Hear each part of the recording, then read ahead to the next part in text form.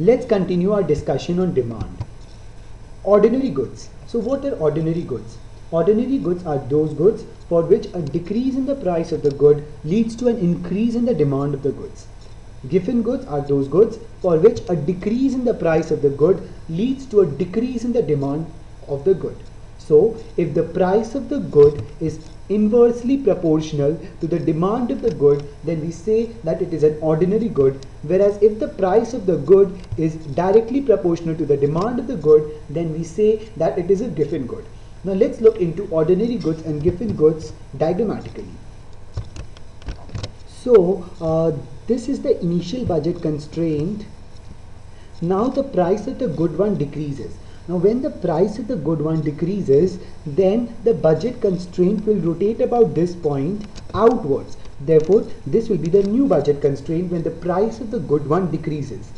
Now, this is the initial bundle that is chosen by the consumer and this is the final bundle that is chosen by the consumer. So these two represent optimal choices of the consumer. And as you can clearly see, the quantity demanded of good one increases. So as the price of good one decreases, the demand of good one increases and we can say that good one in this case is an ordinary good because the decrease in the price leads to an increase in the demand. Now let's look into the case of giffen goods. So let this be the initial budget constraint and this be the final budget constraint after the price of good one decreases. So again it will be a rotation about this point and it will be a rotation outwards. So uh, this is the initial budget uh, initial bundle that is chosen by the consumer and this is the final bundle that is chosen by the consumer. And as you can see there is a reduction in the demand for good one. So as the as there is a decrease in the price of good one, it leads to a decrease in the demand for good one. And as a result, we can say that in this case, good one was a giffen good because a decrease in the price leads to a decrease in the demand of the good. Now let's look into what price offer curves and demand curves are. So what is a price offer curve? price offer curve indicates the optimal choice as the price of the good changes. So as the price of good one changes, what is the change in the optimal consumption can be found out using the price offer curve. So basically it will help us to uh, study the effects of price changes and uh, what are its consequences. So demand curve can be derived from price offer curve very easily and in a minute we will look into how it can be derived. So here is a diagram which will make it very clear how can how we can derive the demand curve from the price offer curve. So the upper diagram basically uh, in the upper diagram this is the initial budget constraint represented as B1 this is the second budget constraint. This is the third budget constraint. Now in this case the price is increasing. So when the price increases from say P1 price of gold 1 increases from say P1 to P2 then the budget constraint moves from B1 to B2 and when the price increases further to say P3 then the budget constraint becomes P3 uh, B3 now uh, let's look into the optimal bundles that are chosen by the consumer. So this is optimal bundle 1, this is optimal bundle 2 and this is optimal bundle 3. And as you can clearly see the quantity demanded of good one decreases. So uh, this represents a case of uh, normal goods. I mean ordinary goods. Why? Because as there is an increase in the price, there is a decrease in the quantity demand of good one. There is an inverse relationship and as a result, uh, it represents ordinary goods and not the case of the giffen good. Now we are going to derive the demand curve for the ordinary good from the price offer curve. So this point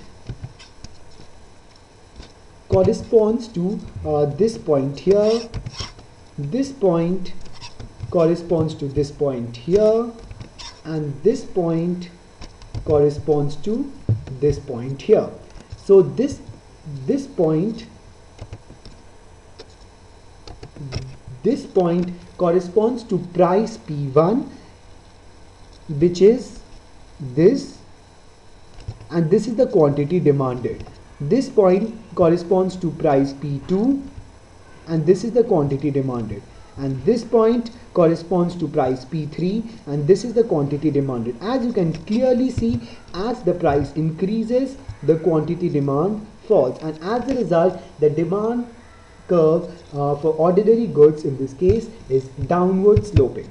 Now we would look into the case of perfect substitutes and perfect complements and we are going to find out the price offer curve and the demand curve for these two extreme special cases. First we will look into the case of perfect complements. So uh, in case of perfect complements we know that the indifference curves they are L-shaped. Now this is the budget line. Now uh, the price of good one increases from P1 to P2 and as a result the budget uh, line it rotates inwards and this is the new budget line. Uh, this is the initial bundle chosen by the consumer. This is the final bundle chosen by the consumer. And as you can clearly see there is a decrease in the quantity demanded of good one as the price of good one increases. Therefore there is an inverse relationship between the price of the good one and the uh, demand for good one. And as you can see this is the demand curve. And as it is a inverse relationship therefore it is downward sloping curve However, in case of perfect, uh, perfect substitutes, it's not as simplistic as it is in the case of perfect complements. Now let's look into the case of perfect substitutes in detail. Now in case of perfect substitutes, uh, here we are assuming that a person substitutes one unit of good 1 with one unit of good 2 as it is a, I, that is the ratio in which the good 1 and good 2 is substituted is 1 is to 1. Now what is the slope of the budget line? The slope of the budget line, the absolute value is P1 by P2. Now uh, the shape of the demand curve for the perfect substitutes depends upon P1 and P2.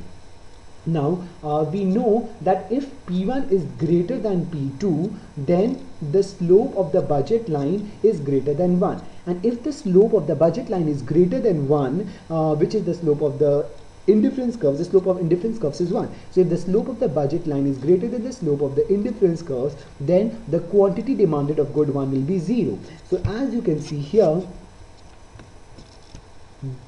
this portion represents P1 greater than P2 and the quantity demanded of good 1 is 0. Now this point represents P1 equals P2. Now when P1 is equal to P2, uh, the quantity demanded of good one increases. Now uh, we will look into the further portion of the demand curve. Uh, before that, let's look into the price offer curves again. Now, if the P, if P1 is less than P2, what's going to happen? If P1 is less than P2, the slope of the budget line is going to be less than the uh, slope of the indifference curves and in that case the consumer will only demand good 1 and there will be no demand for good 2 and if the consumer demands only good 1 it means that since, uh, I mean, we are taking the good taken into consideration on ordinary goods, there will be an inverse relationship between the price of the good and the demand of the good. As a result, when this portion, when it represents P1 is less than P2, the demand curve will be like this. It will be an inverse relationship between the price and the quantity demanded of good one. Now uh, we will try and explain this portion of the demand curve when P1 is equal to P2. Now when P1 is equal to P2, what will be the slope of the budget line? It will be 1 which is equal to the slope of the indifference curve. Now when the slope of the budget line is equal to the slope of the indifference curve, it means that the indifference curves and the budget line they are going to overlap. And if the indifference curve and the budget line are going to overlap it means that there are various infinite number of optimal bundles. Because if they overlap they cannot find any one point all the points of the budget line or the indifference curves will be optimal bundle. And as a result um, if P1 is equal to P2 the quantity demanded of good one increases. Until a point where P1 starts becoming less than P2 there after which uh, the demand curve becomes downward sloping.